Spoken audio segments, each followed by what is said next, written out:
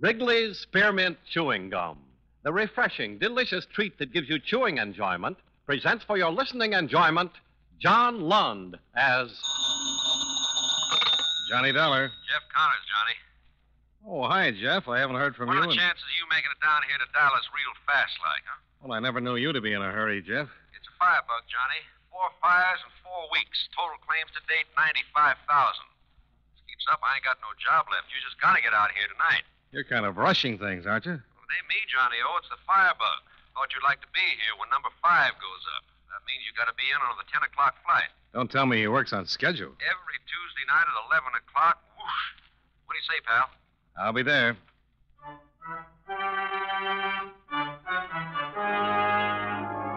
The makers of Wrigley's Spearmint Chewing Gum bring you John Lund in another adventure of the man with the action packed expense account, America's fabulous freelance insurance investigator. Yours truly, Johnny Dollar.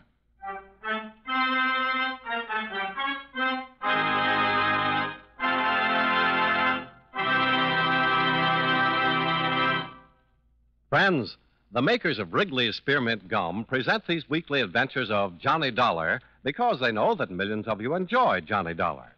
That's true of Wrigley's Spearmint Chewing Gum, too. It's enjoyed by millions, day in and day out. People find that chewing on a smooth, delicious piece of Wrigley's Spearmint Gum somehow makes time pass more pleasantly. Whether you're working, driving, shopping, or just taking things easy, that good, tasty chewing gives you enjoyment and satisfaction. So always keep a package of Wrigley's Spearmint Chewing Gum handy. And whenever you want a refreshing, delicious treat, chew a stick. You'll like it. You really will.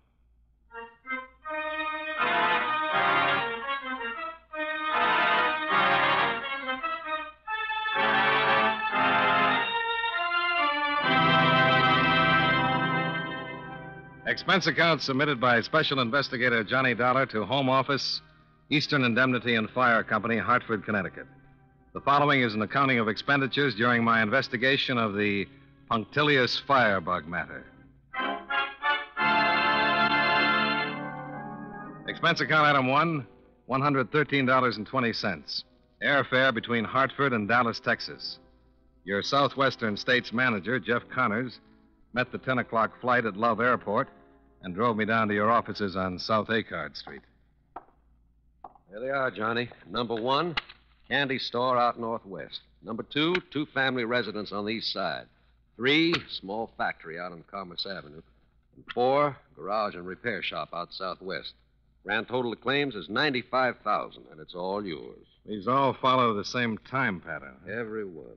Comes Tuesday night around 11 o'clock, and that firebug just naturally lights up. All new policies, Jeff.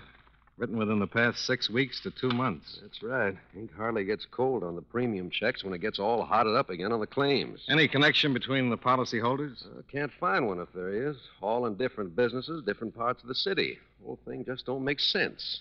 It does if the bug is in your own organization. Yeah, that's what Len Borchardt says. Who's Borchardt? Detective Lieutenant, Arson Division. He's been working on it. How's he making out? Well, I got ten men out in the field, two gals in the office here, lots of alibis to check out. Takes time. So far, there's no reason to suspect anybody. Those fires are reason enough. But, man, why'd anybody want to do anything like that? Well, when it comes to firebugs, who knows? Could have a grudge against you or the company. Or maybe just like to see them flames shoot up, huh?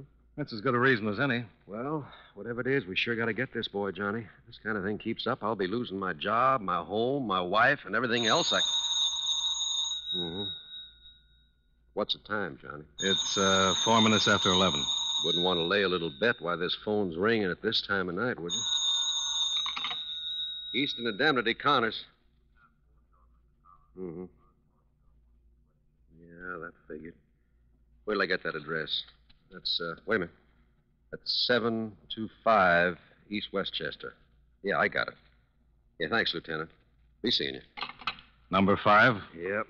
Big apartment building out in Westchester. You're sure it's one of yours? Wrote the policy on it myself four days ago. Well, let's get out there and have a look, huh?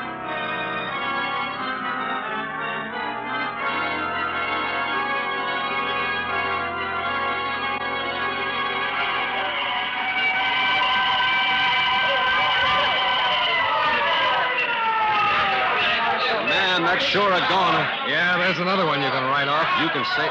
Oh, oh, there's Len Borchard over there. Didn't know he'd be down here so quick. Let's hear what he's got to say. Yeah, sure.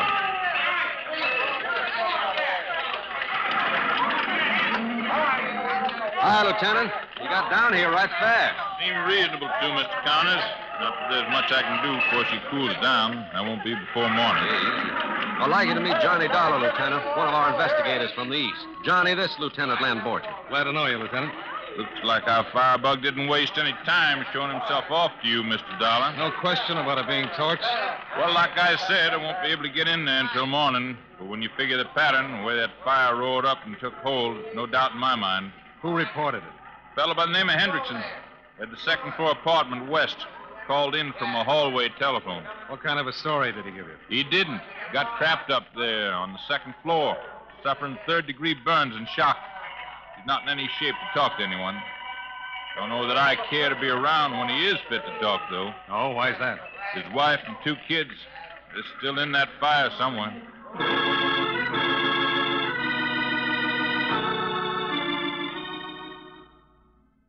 Jeff Connors went back to the office to wire his preliminary report to Hartford, while I stayed around to see if anything would turn up. By 1:30 a.m., the only thing we learned was that our only possible witness, Hendrickson, had died en route to the hospital.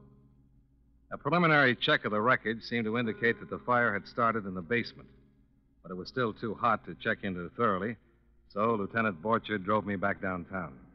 I'll dig into it in the morning, Dollar. I can tell you right now what I'll find. Oh, what's that, Lieutenant? There'll be four or five hot spots indicating the use of kerosene, gasoline, something like that. Amount of paraffin drippings. Sounds like a candle's used for a slow fuse. That's what we figured.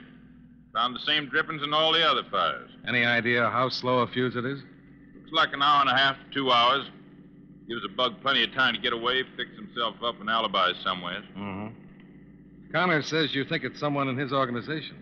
Whole pattern points that way. Haven't been able to run him down, though. Takes a lot of legwork. Uh-huh. Connors has been a big help. Cooperating right down the line. You known him long, Dollar? Oh, four or five years, off and on. He's a good man. Yeah. He doesn't seem to be letting his personal troubles interfere with his work any. What personal troubles are those? Oh, he's been pretty broke for the past six months or so. Wife's been sick, run up a lot of doctor and hospital bills. Had to buy a new home recently. Oh, why's that? Last one burned down. Lost his eight month old son in that fire. Been pretty rough going for him. Yeah. Well, when we get this firebug pinned down, might help him some. Take some of the pressure off, relieve his mind, maybe. Here you are, Dollar. Oh, thanks, Lieutenant. Uh, check with me in the morning, Dollar. Think over what I've been saying. Maybe something will come to mind. Yeah. Yeah, I'll think about it.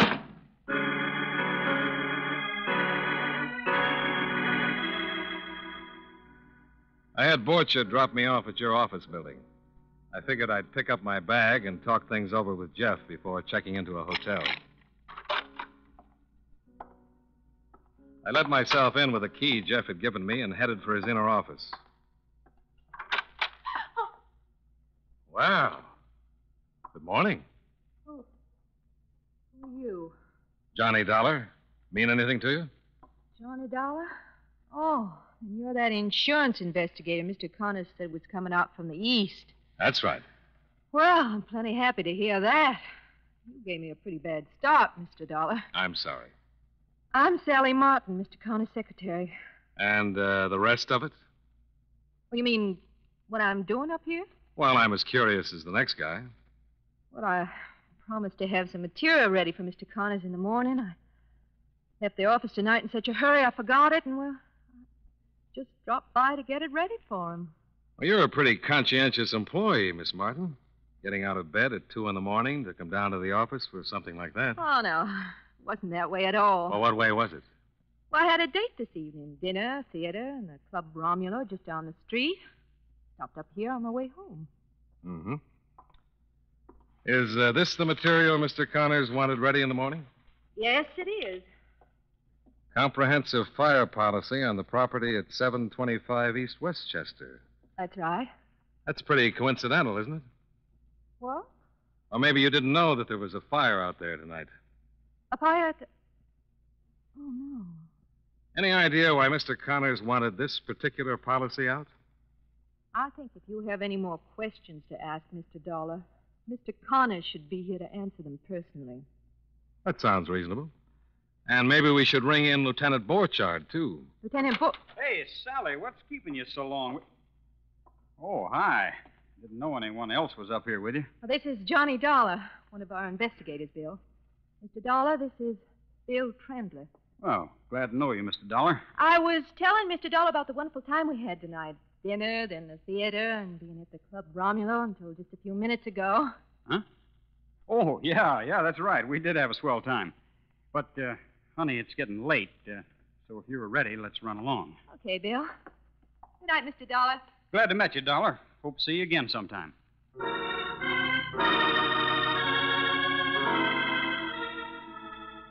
Being a firm believer in the ability of my subconscious to resolve any knotty problems, I checked into the Baker Hotel for the night.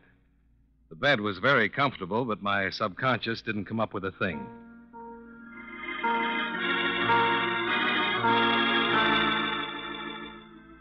Expense account item two, $3.75. Texas style breakfast, including steak and pan fried potatoes.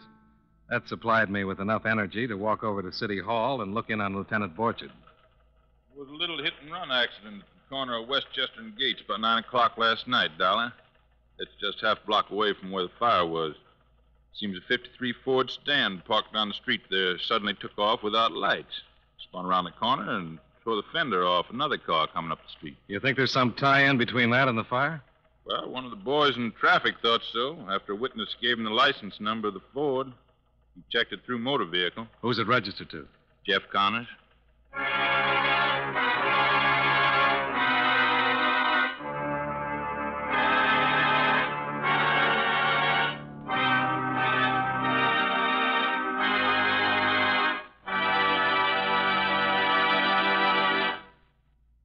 Friends, no matter what kind of work you do, there are bound to be times when the job seems monotonous. You feel tense and restless, and you need something to give you a boost. Well, you'll be surprised how helpful a stick of Wrigley's Spearmint chewing gum can be at times like that. You see, chewing on a smooth piece of Wrigley's Spearmint gum is a natural way to ease tension and relieve that feeling of restlessness. The easy chewing gives you satisfaction. You get a nice little lift out of it. And Wrigley's Spearmint gum tastes good, too. Its flavor is lively, refreshing spearmint, a flavor millions enjoy. Try it and see for yourself. Get a few packages of Wrigley's Spearmint chewing gum and chew a stick from time to time while you work. Chewing this delicious gum will make your job seem easier and pleasanter. It really will.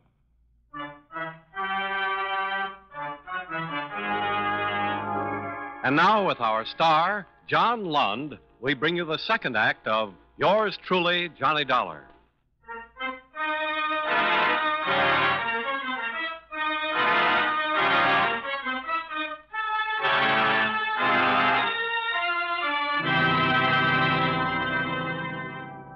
The traffic division's report of the hit and run accident on Westchester the night before added nothing to what Lieutenant Borchard had already told me.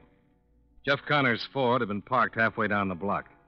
At approximately 9.05 p.m., it roared away from the curb without lights, turned the corner onto Gates, smashed into the side of another car some 10 feet from the intersection, and kept right on going. That'd be some reason for Connors being there just two hours before the fire. And for taking off in such an all fired hurry that way without lights. Well, let's get Jeff's side of the story before we jump to conclusions, Lieutenant. I don't believe much in coincidence, Mr. Dollar. Time element checks out, too. The two hours between the accident and the fire? We know those candle fuses burn an hour and a half to two hours. Leaving here at nine gave him plenty of time to ditch the car and meet you at the airport with a pretty clean alibi. He wasn't driving a Ford when he picked you up, was he? No, it was a Plymouth coupe. Yeah. Well, that's his wife's car. Well, what have you done about getting him in?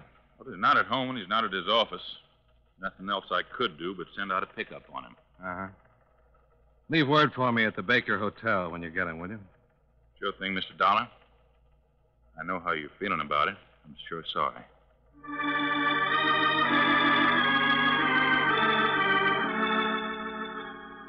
Expense account item three, $2.25. Cab fare out to the modern subdivision where Jeff Connors had his new home. Mrs. Connors turned out to be a sweet, nice looking young woman whose recent illness was still apparent. I'm sorry you had the long ride out here for nothing, Mr. Dollar. Jeff's not home. He left early to get his car fixed or something. It's too bad you didn't call first. Oh, that's all right, Mrs. Connors. It's you I wanted to see. Oh, yes. Well, I, well, I guess I knew that. It's about Jeff, isn't it? And those fires. That's right. And you've noticed it, too. Terrible things worry and sorrow can do to a man. Well, until six months ago, Jeff was the happiest man I'd ever known, and then, well, our world just fell apart That's when your home burned, Mrs. Connors? when we lost our son. Hmm. Something happened to Jeff then. Oh, it happened to me, too. I broke down. Had to be hospitalized. But with Jeff, well, it was different. How do you mean? He bottled everything up inside of him, refused to let it come out, never even talked about it. Person can't do that, Mr. Dollar. You mentioned the recent fires, Mrs. Connors. Any particular reason why? Yes. That's what has me worried so. Ever since they started, he's become terribly depressed. I'm afraid he's going to break down under the strain. That's the only reason you mentioned it? Yes. I've tried to do everything in my power to help him. I thought perhaps if we moved away from Dallas, it might help. But he wouldn't do that. Then I tried to get him interested in sports. That brought the first encouraging sign I've had in six months. Oh, what was it, Mrs. Connors? Well, usually on Monday and Tuesday nights, Jeff brings work home with him. All the mail that's accumulated over the weekend, the new premiums and renewals and so on. Uh huh. Well, for the past five weeks, Mr. Dollar, believe it or not, Jeff has gone bowling every Tuesday night. He's become so enthused about it, why, he hasn't come home before midnight on any Tuesday evening since. Now, don't you think that's encouraging, Mr. Dollar?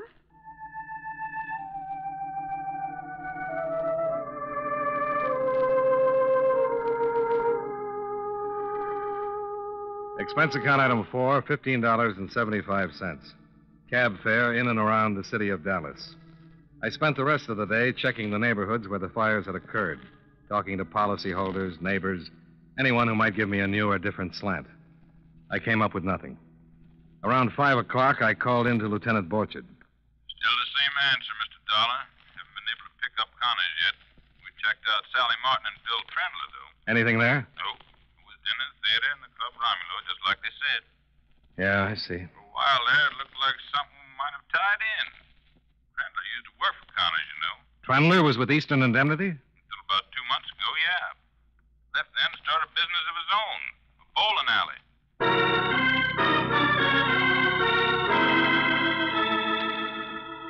Expense account item five, a dollar and sixty cents. Cab fare to Trendler's Bowling Emporium on East Gatto Street. Five alleys and a drink and sandwich bar. Trendler was keeping score for a couple of high school Bobby Soxers over on alley number three.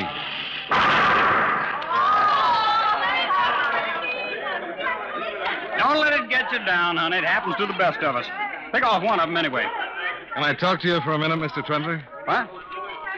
Oh, it's you. The insurance man, uh, Johnny Dollar, isn't it? That's right. What's on your mind, Dollar? I'd like to talk to you for a minute. About the fires? Yeah. Take over for the girls, Jim. We'll be right back. Let's go in the office, Dollar.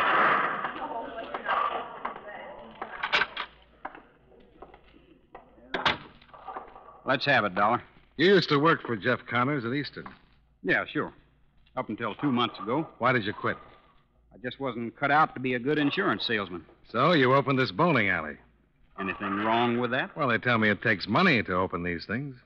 I had a few bucks saved. From uh, not being a good insurance salesman? Why the interest in my finances, Dollar? Well, I'm just curious. So be curious about something else, huh? Okay. Did Jeff Connors ever come bowling here?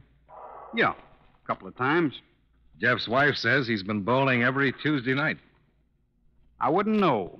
The last time I saw him was four weeks ago last night. Any idea where he might have been those other Tuesday nights? Why not ask Sally Martin? What's she got to do with it? She's his secretary. She was with him the times he came here. Maybe they figured out something better to do with their Tuesday nights. She was out with you last night. Yep. Every minute from 6 o'clock till 2.15. Dinner, theater, Club Romulo. Well, you can always walk out of a theater before the final curtain. And a $10 bill can make a nightclub waiter pretty confused about time. It'd Be kind of hard to prove anything like that, wouldn't it, Dollar? Well, there's no law against trying.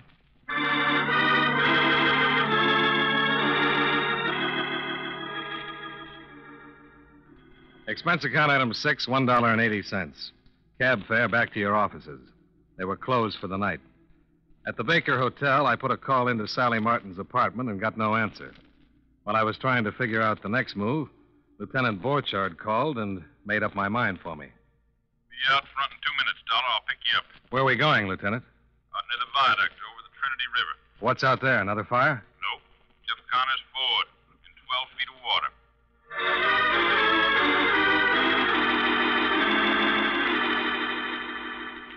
Took about an hour for a mobile crane to get there, and another 35 minutes before the grappling hooks got a solid hold and swung the car up onto dry land.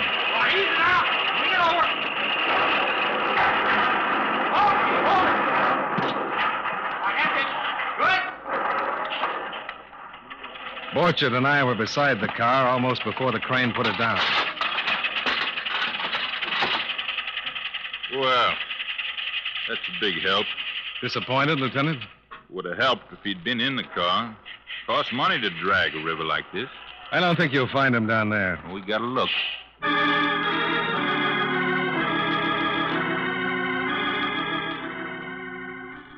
On his way back to City Hall, Borchard dropped me off at the hotel. On a hunch, I went across the street and had a little talk with the night elevator man in your office building. Well, now, let's see.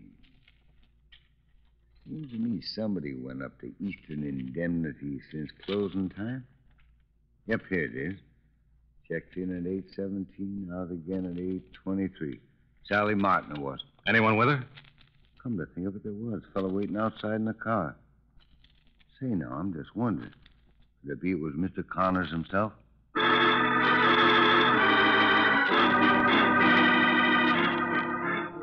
Expense account item seven. Six dollars and ninety cents for a fast cab ride out to Sally Martin's apartment. The extra five was for the speed.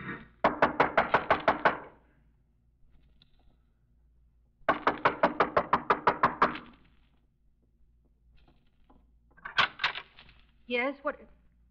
Mr. Dollar. Where is he, Sally? Where's who? Jeff Connors. Is he still here? Then, then you know? That he was hiding here today? Let's say I guessed. All right, where is he? I, I don't know. I- Now, look. There have been five fires and three people are dead. You're hurting my arm, Mr. Dollar. I want to know what you were doing up at the office and where Jeff went when he left here. We, we went up there to get a list of the new policies that came in today. Why? What did Jeff want with them? I don't know. Well, there was some reason. What was it? I tell you, I don't know. I got back here tonight and told him Mrs. Connors had called about the new policies. He made me drive right down. His wife called the office? Well, Mrs. Connors always did that. Double checked the policies with me because of the files he kept at home. What was different about her call this time? Well, nothing. Except the day, maybe. She always called on Tuesdays.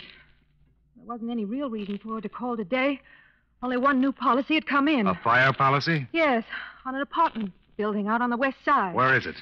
Look, Mr. Dollar, I know what you're thinking.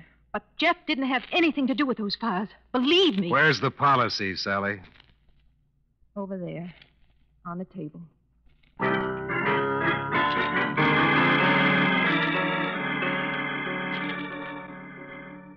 Expense account item eight. Seven dollars and fifty cents. Cab fare with speed to the newly insured apartment building on the west side. I called Lieutenant Borchard from Sally's, and he was there waiting for me.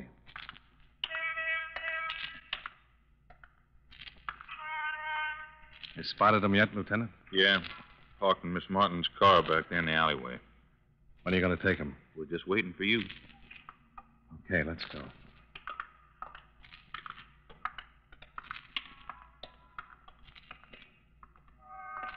There it is, Donna. Yeah. Keep your hands on the wheel, Connors. Don't worry, Lieutenant. I won't try anything. You expecting us, Jeff? No. Matter of fact, I was hoping you wouldn't show, Johnny. I wanted to handle this myself. You've been handling it that way too long, Connors. Yeah, I guess I have. I wasn't really sure till I saw the car last night. Read about the hit run in the morning papers. Is that why you dumped it in the river? Didn't make much sense, I guess. Trying to cover up that way, just getting kind of desperate. Where is she, Jeff? What? Your wife. Where is she? In the basement? Yes. She must be through by now. I was waiting for her to come out. Trying to delay it until the last minute, I guess. I'll have to get her, Connor. You. You'll treat her gently, won't you, Lieutenant? Don't worry. I'll treat her gently. Sally Martin's not mixed up in this, Johnny boy. She was just trying to help her boss out of a jam. Didn't even know what it was. Don't worry about it, Jeff. Doesn't make much sense, does it, Johnny? My own wife. Firebug. I suppose maybe it was our home burning. Boy, I don't know. This doesn't make much sense. She was a lovely girl, Johnny. I wish you'd known her. She was such a lovely girl.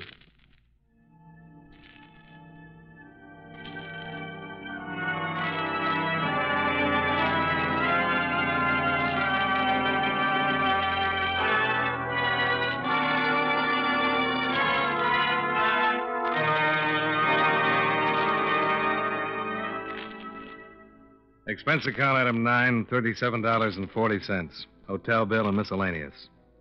Expense account item 10, $119.10. Airfare back to Hartford. Expense account total, $309.25. Remarks? I've seen fires burn everything from blocks of tenements to a hole in a rug. But this is the first time I ever saw one actually burn the heart out of a man. I don't ever want to see it again. Yours truly, Johnny Dollar.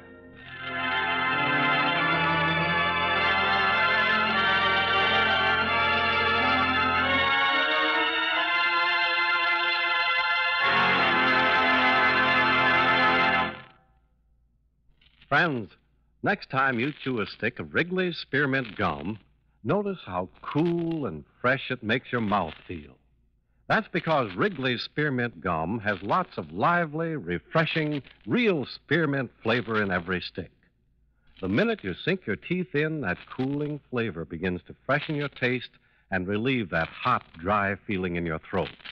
It sweetens the breath, too. Millions of people carry Wrigley's Spearmint Gum with them wherever they go for quick, long lasting refreshment and for real chewing enjoyment.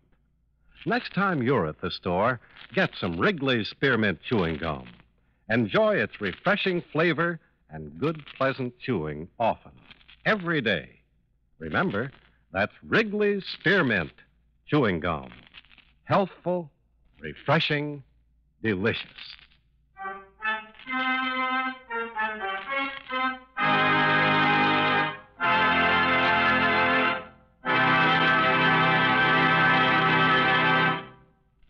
Yours truly, Johnny Dollar, brought to you by Wrigley's Spearmint Chewing Gum, stars John Lund in the title role and was written by Sidney Marshall with music by Eddie Dunstedter. Featured in tonight's cast were Hal March, Barney Phillips, Jeanne Bates, Sam Edwards, Virginia Gregg, and Jim Nusser. Yours truly, Johnny Dollar, is produced and directed by Jaime Del Valle.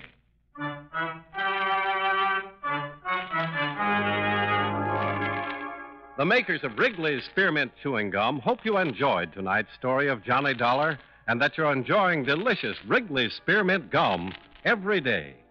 This is Charles Lyon inviting you to join us again next week at this same time when from Hollywood, John Lund returns as. Yours truly, Johnny Dollar.